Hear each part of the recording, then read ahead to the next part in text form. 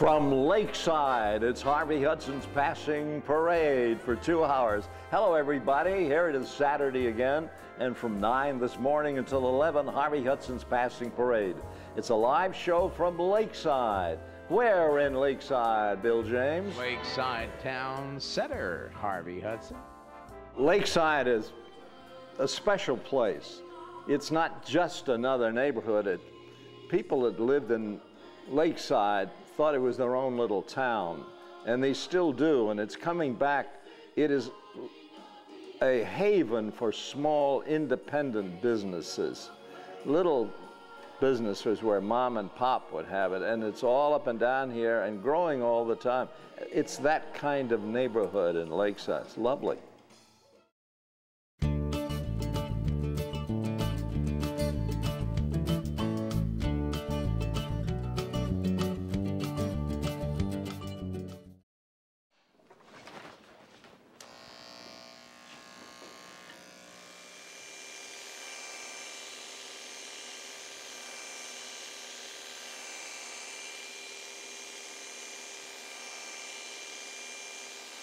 Lakeside people are, are, are good people, you know, down down to earth, grassroots type people. And then uh, I like Lakeside.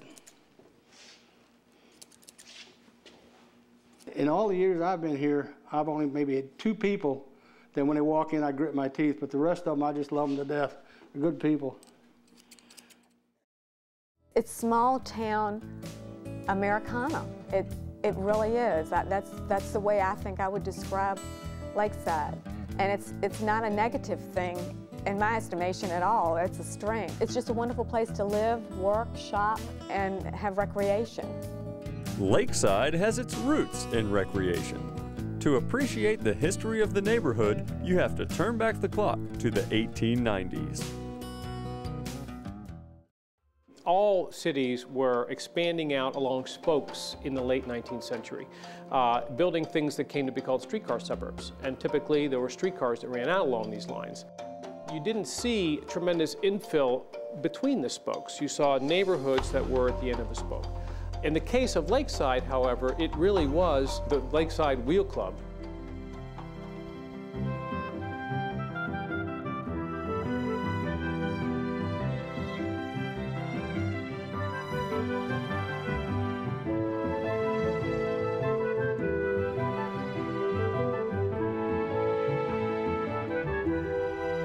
The Lakeside Wheel Club was an escape from the city. It was a resort that Lewis Ginter built and it was a chance for uh, men and women to, to get out of the hustle and bustle of the city and to enjoy country life.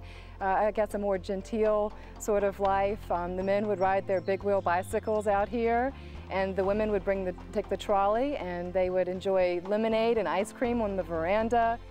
Lewis Ginter uh, was in my estimation, a genius. He, he really was a man uh, before his time. He had vision. It's just amazing what was here. Uh, not only a, a, bicycle club, but also a bowling alley, a golf course, a zoo, uh, just all these different things. It just sounds like sort of the Disney world of its time right here on Lakeside Avenue.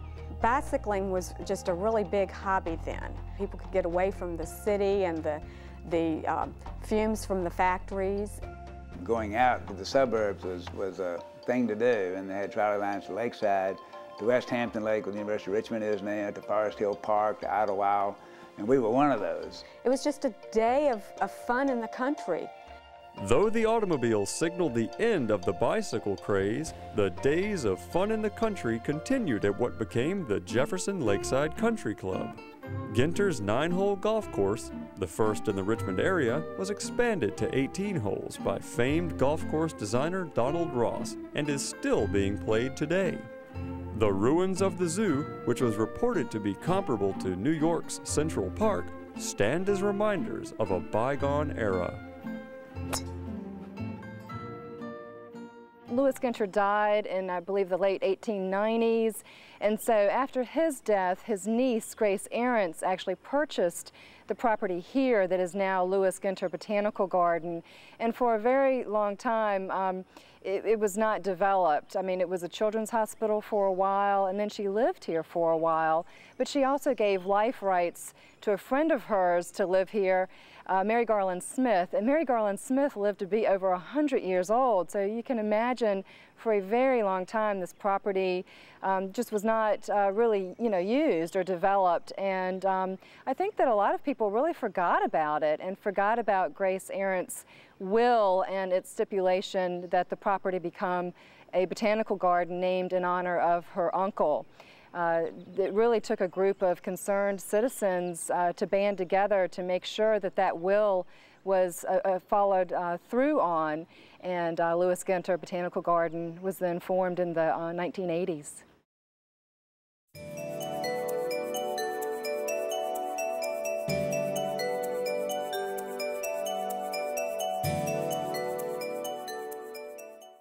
Growing up in Lakeside was like living in a village uh, where you really did know everyone, where everyone had common values. We all kind of had shared experiences, enjoyed the same things, and would help each other out when someone needed helping out. Uh, you can count on that because of the permanency of the neighborhood. Folks were there, had been there, weren't going anywhere, and you know you were safe. I moved to Lakeside area, uh, to live in Lakeside area in 1958, so it's been a very long time. Basically, the street until the 50s was dirt or either gravel. There was no real, real pavement. Uh, it, it, was a, it was a, you know, like a, we were in the boondocks. I mean, you know, we were a million miles away, you know, and, and thanks to a lot of farms, where, you know, and, and things were entirely different the way are today. I mean, you really have to go you know, halfway to Charlottesville to have the same feeling that it used to be just in the 50 right here on Lakeside Avenue. And uh, I, I, think that uh, uh, that, that feeling it, it, still remains because, you know, you got Lakeside, there is a corridor with shops, but one block one way or the other, it's all homes. It's almost like a city in itself.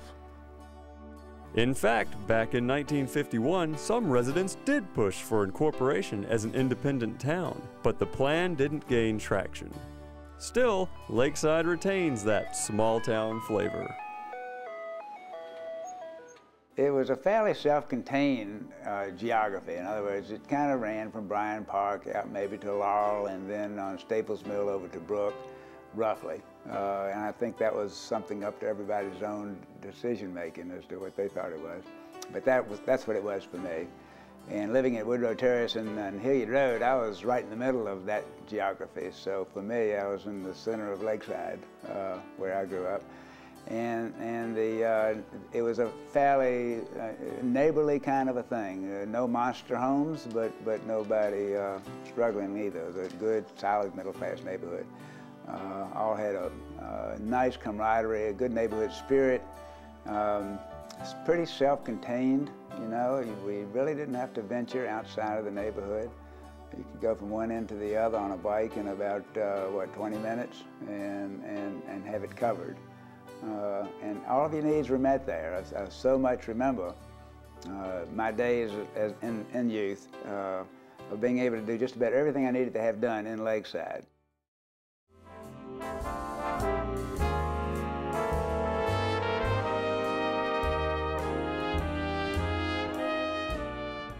Well, to be a Lakesider is, is a special term. Uh, it kind of connotes that uh, you're part of that community and that you are proud of being part of that community and that you'll do things for that community to make it better. The Lakeside spirit of volunteerism has a long history of bettering the community. From the Volunteer Rescue Squad, in operation since 1958, to Fire Station Number 5, the Lakeside landmark with a quirky beginning, Lakesiders always prove themselves to be resourceful. I was raised across the street from where the uh, Lakeside Fire Station is now. When I was growing up, it was Lakeside Presbyterian Church, and uh, Back about 1940 or 41, they built a new church up on Hermitage Road, a brick church. And the county bought the old church and uh, they made a, a, fire station out of it. I went to church over there when I was a little boy before the fire station was there. A lot of people thought it was funny. They couldn't believe at first they was going to take the old church and make a fire station out of it, but it worked out real good had the pews and all in there. They just took all the stuff out and put the big doors in front and the cement floor. And my daddy was one of the first ones that joined over there to be a volunteer. They had 25 volunteers, and uh, he uh, was a volunteer for quite a few years, and then uh, he went on as a paid man. But uh, those people were really dedicated back in those days. Uh, when you hear that siren go off and blow on a tall pole, you can see them running from everywhere coming to that station, especially on Saturday and Sunday when they were off from work. One uh, Saturday, Jesse Pate was over there and he was taking and writing down the calls. All the equipment was out on a call, so they had a little hedgerow fire down on uh, you know, Hermitage Road down that, close to Kent Street, and uh, Jesse Pate took an Indian tank, was a little tank of water that we used to fight field fires and wood fires. He put it in his car and he went down there and he, he got out and was strapping it to his back and the lady said, don't get excited, don't get excited. The fire department's on the way. He said, lady, I am the fire department. she really got nervous then. Everybody loved Lakeside that lived there back in those days, and people were friendly and really close and helped each other, really helped each other. If somebody had a problem, it'd be, the neighborhood would be there to help them. I think that there's definitely a, um, a spirit of volunteerism uh, here in the Lakeside area, and I think we see that definitely at Lewis Ginter Botanical Garden. In fact, a lot of the community leaders in the Lakeside area do volunteer here, and so it all really does work together. Um, you know, it may just be that spirit of community, the, the feeling of working together to make things better and more beautiful um, that's motivating people.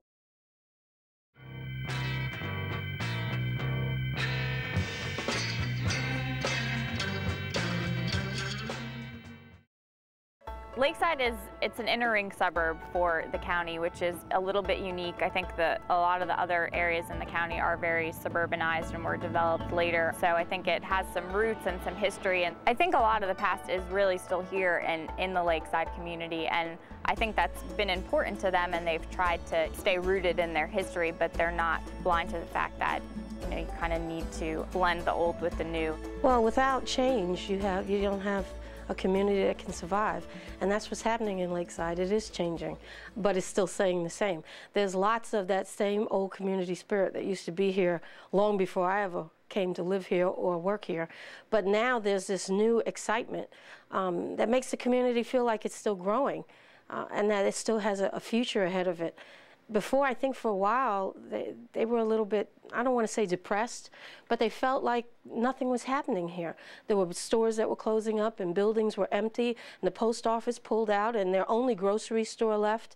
But now what's happening is that in all those empty spaces, there are churches and new shops and and uh, consignment stores, and they're selling a little bit of everything, food, clothing, their boutiques, uh, there's hairdressers now. These are things that didn't exist before in the Lakeside area. So it's given the neighborhood a, a new life. It really has. It's, it's opened up the world to them. And it's almost like you can smell the excitement now there. People are coming out and they're planting. They're putting flowers along the side of the street. I, when I first got here, it was never like that. I don't know. The neighborhood is just growing and, and blooming. Well, we are proud of Lakeside, and we want it to be a gateway to the Botanical Garden. When people come off of the highway to, to go to Lewis Ginter, we want them to see a nice, vibrant, well cared for, lively strip along here. And I do feel that people are enthusiastic about what they're doing, and it's contagious. When I uh, started to look to buy a house, I realized that, uh, gee, Lakeside, it's it's kind of working class, uh, just my style. Plus, it's so centrally located; it's right in the middle of town, and yet it's kind of separated out. It doesn't have the hubbub of, of being so close to town. It's very crafty, kind of guildy. It, it has a sense to it of, well, actually producing something, actually doing something. And I think that's what Lakeside Avenue uh, has going for it. There's a lot of people doing stuff. There's a lot of people making stuff and uh, you know uh, repairing things and, and, not just store stores. You know that, that people stand behind the counter and wait for you to come in and spend your money. And I think that's the sense of Lakeside Avenue is a is a is a real productive kind of. Uh, uh, you know, I don't want to say blue collar, just because I have a blue collar, but but uh, more regular people just getting the job done. And that's, and that's what I, I sense when I drive down like that Avenue. People are actually working, they're making a living, uh, working with each other, getting to know their, their, their, their neighbors and, and things like that. You could have gone out along any of these growth corridors uh, earlier in the uh, century, early in the 20th century, and you would have found nice independent businesses like you find at Lakeside now. Those are gone uh, because big money came in and invested in and displaced them. So in some ways, we're lucky that the other corridors uh, were there. The difference for Lakeside, of course, is that if you get out beyond Lewis Ginter, you sort of you don't have immediate connectivity with the next thing out. Whereas if you look at any other of the major spokes, Broad Street, uh, Chamberlayne, uh, Hull Street, they all continued to connect. And it's those connections that brought much more development along those corridors and made them the magnet for big investment post-World War II era. So in a way, Lakeside was preserved by its disadvantages. Uh, in that it was not an ideal corridor for the post-World War II retail. It was a great corridor for pre-World War II retail. But fortunately, because of that stable working class neighborhood, it, once it started, it never really declined. That stability there, I think, is what has kept Lakeside frozen in time just a little bit, but also kept it viable. When you come to the lakeside area, you really see things that you just can't find anywhere else, and, and that's really special and, and really exciting. And I think that that's gotten people's attention. I think it's drawing them to this area. They realize that there's this gem, you know, this jewel right here that we have in Lakeside, a very special and unique character. And um, I think that there's a sense that we really want to preserve that, but we also want to share that with as many people as we can. One lakeside treasure that has been preserved and is being shared is the former Hermitage Country Club, now Belmont Golf Course and Recreation Center. Hermitage Country Club had a, a nine-hole golf course down in, in, Richmond, and they rebuilt out here in 1917 for uh, 18-hole golf course. Um, they were able to establish themselves as a prominent golf course in, in the Richmond area. They had the Richmond Open in 1945 and 1946 which led into a sanctioning of the PGA Championship, which was played here in 1949. In our family photography business, uh, 1949 was a big year for us. Uh, we covered the major national PGA that came to Hermitage and have, have some wonderful photographs of the crowds that attended that event. And uh, appropriately, Sam Snead won the tournament for Virginia Boy. Uh, the crowds were, were fun to look at. Everybody's wearing hats. A lot of folks are wearing ties. They gather around the greens and watch the uh, pros come on in. Uh, it was obviously a special occasion. It's part of the philosophy of the county to keep historical sites uh, active and open to the public here in, in, the county for citizens to use. And fortunately for us, you know, Hermitage decided to expand their operations back in the uh, early 70s, and we were able to purchase the property back in 1977 and turn the country club into a, a public recreation facility, public golf course, public tennis courts, as well as a public recreation center, and uh, keep it open with some of the historical content as well for, for citizens to enjoy for years to come. Lakeside is, is, very fortunate to have, have Belmont Golf Course here. Across the street, other side of Lakeside Avenue, you've got Jefferson Lakeside Country Club. And then on the other side of, of Lakeside Avenue also, you have Lewis Ginter. So you, you can't go to too many communities that will offer uh, two top quality golf courses as well as a, uh, a site for enjoyment of nature. Uh, you, just, you just don't find that anywhere. The county has been investing in the lakeside area for a number of years And it, it all started with uh, this first revitalization effort in the county was this 1995 enhancement plan for the Lakeside Avenue corridor. And out of that plan came the recommendations for a drainage and roadway project for Lakeside Avenue. And the county invested uh, close to $4 million uh, in that project. And then uh, the Enterprise Zone program came along in 2004 and it brought state and local incentives for businesses to invest in their properties. Back in the mid-1990s, uh, the community maintenance program was started in Lakeside and really resulted in property improvement. And uh, there's community cleanups that are, are, held a couple of times a year where citizens can put out all their trash and debris and help to clean up their properties. We have volunteer assistance programs that go on in the adjacent neighborhoods. And the latest investment is a brand new fire station, fire station number five. And that certainly helps to protect all the investment. And the end result is, is there's been tremendous progress in revitalizing this area. VCU was uh, interested in the corridor as well and did a study. Uh, they did a student project here. Uh, they worked with one of our staff planners in the Department of Community Revitalization and they came up with some wonderful recommendations and they worked very closely with the Business Association and the business owners and that, that got the business community excited again um, uh, about the potential for the area. We started the class with a tour of the business district. And I remember that thinking, well, this is kind of this is kind of neat. It's not like any other place. And I think what our plan does is kind of serve as a roadmap for Lakeside Avenue to help them move it along. Uh, we, we took a group of, of largely independent, fiercely independent business people and said, here's our roadmap. This is our best guess in the fall of 2007 for a way for you to move forward. Uh, it's important for you to make it happen. And so it's the business group, it's in Henrico County, hiring somebody to kind of oversee the effort, and, and that's what will spell success in this program. You know, if we had done this 25 years ago, um, people weren't ready to look back at that scale and say, wow, there's something great about that. People had, you know, 25 years ago, people were in love with a shopping mall. People were in love with size. To some degree, they still are, but now there's a sizable group within society that's saying, we'll spend a little bit more time, we'll spend a little bit more money to get something other than the lowest price. The personal service, the knowing who the customers are, they're really having products and services that those people want as that group has grown, it's become possible for Lakeside to, you know, to continue and get a new lease on life almost. Lakeside Avenue businesses saw the rise and fall of Azalea Mall.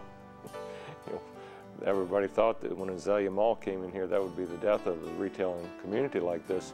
We've not grown fast, but we've grown steady over the years. One of the things that I think is keeping this, this neighborhood alive and the, the business strip alive is that we do have continuity. We do have some businesses that have been here for a long time, and then we're getting new exciting businesses to come into the uh, fold too, and that, that makes for a lot of energy, a lot of creative energy.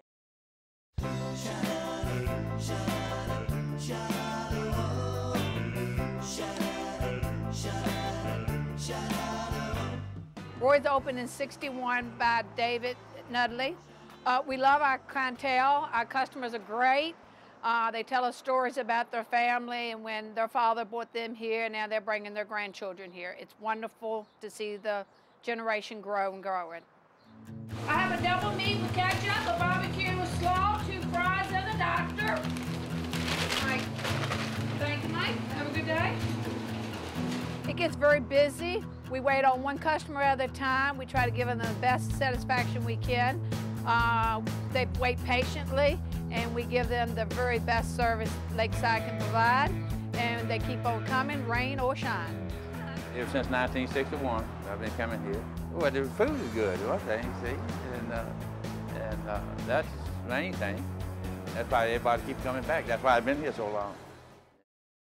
In the end, it's, it's really local people and then a couple of key businesses that we call destination businesses that bring people in somebody may drive five or 10 miles for a Roy's Big Burger, but you know, if there's a, a chain drugstore, they're, they're going to go to the one that's closest to their house. They're not going to seek it out. And Lakeside Avenue has a couple of businesses like that that punctuate it along the corridor. Another lakeside icon is the Hub. Built in 1948 and named for its developer, M.L. Hubbard, it was the county's first shopping center. Over the years, tenants have come and gone, but the community barbershop has been there since day one. We still do it the old-fashioned way, and by that I mean as a real barber. People call themselves barbers nowadays, don't do what a barber does. They're not barbers. Uh, by that I mean trim the ears, the eyebrows, the nose, the mustache, lather up and shave around the ears, uh, ask the customer how he wants his haircut and, and try your best to give it to him what he wants, you know. Old-fashioned customer service can be found from one end of Lakeside to the other. It's a place where even filling up the gas tank can feel like time travel. Even in the, the late 60s, early 70s, it was it seemed like a gas station every 100 yards. It was 13 or 14 of them along Lakeside Avenue. This is a country in love with the automobile. Any corridor that really saw a lot of development post-World War II is going to be really heavily influenced, punctuated with a lot of gas stations. Well, I started here in 58, quit in 62, and come back in uh, 70. In 1958, it was the Gulf station. Gas prices were 14 cents a gallon. We had a war across the street with a Sunoco station, and we dropped it down to seven cents a gallon for about three or four months. And that day it would never happen again. Come on up here, sweetheart, and I'll see if I can get you taken care of. We have a, what you call a, a neighborhood business. When you welcome the person in, it's the biggest part right there. When the people come in there with the full service, that means we uh, check the oil, clean the windows, uh, check the tires, uh, basic things like this. And a smile, as you go out there with that smile, that makes the biggest part. This is how the people treat each other. They, they see each other, they say hi, they're, they're honest, they're open. And there's so much going on in Lakeside now. I mean, there's a lot of uh, opportunity here for growth. Um, and for the future. It's kind of like a neighborhood, uh, you know, knitting itself together. You know, I mean, it, it, has gone through your ups and downs of any any avenue is going to, especially one that's as old as this one. And people are, are knitting it back together again, storefront by storefront and, and house by house, and and uh, it's it's fun to live in an area that is uh, it's, it's energetic. You know, it feels energetic. I'm certainly energized by it. The fellow that owns this shopping center, Peter Francisco, has done a lot to build Lakeside back up to what it used to be. For a while, it, was going down, and uh, you've seen some empty buildings here and there, and it, that's going away now. You're, you're, having most of the businesses and most of the buildings are, are coming back. Uh, Pete has uh, opened the farmer's market, which will open in May. They're going to have that here this, this year again. There are entrepreneurs here in Lakeside that are making things happen. Well, our goal with the farmer's market was two things. It was to uh, give something back to the community that was educational and at the same time to provide economic development for the area too. And um, everything we were reading was that farmers markets were good things to do that. Well, I think this is a great community over here in Lakeside. Uh, I'm from Hanover County, and uh, this is my first time at this market. And I'm very pleasantly surprised with the response I receive uh, when people design local produce. I think that's wonderful to support our community and support the uh, local businesses here. So I'm very, very impressed. Uh, looking forward to coming back now. Uh, I'm just excited. We take it personal. You know, I, am a third generation farmer and I just love it and, and we're just trying to take it to another level right now. Every week you can see it growing. It's new vendors that come out and all the produce is local. Um, and these people, they're bringing what they grow and it's all fresh and wonderful and it's making the, the neighborhood feel like a community again. I think the Lakeside Market offers um, the customer and the vendor the opportunity to meet face to face. And there's just a small town neighborhood kind of feeling with the whole concept of a permanent market here at Lakeside. Our farm is in western Goochland County, we're in a rural area, so we don't see a whole lot of people out there. But here it seems like there's a, a revitalization of that neighborhood spirit. And that's something that we lack out in, in the country. We don't have that opportunity to, to uh, see a lot of people. Here, people are bringing their kids in strollers and walking and bicycling to the venue, and they're just so grateful. And I think that Sharon and Peter have done a fantastic job of bringing together people from the neighborhood and others, and just making it a larger circle for us all to be together and just share. The best part about the whole situation is most of the lakeside families and people try to do their shopping in Lakeside. You know, they try to keep the thing going. Saturday night is the loneliest night of the week, unless you're in Lakeside. And our broadcast is about Lakeside and it's from Lakeside. Lakeside is a very interesting place. It was and it still is. If you haven't been to the north side recently, you really missed it, believe me. It's kind of a, a quick little mini vacation or a, a getaway that is just right in your own backyard. Once people come here, they come back again and again. I think it's been coming along for a number of years now, and it's finally getting to a point where people notice that, yes, we are a community. We are getting back to the, the things that made us a community in the first place. Yeah, I'm really, really proud of that because it looks like, you know, the old days are kind of coming back again the way it used to be in Lakeside.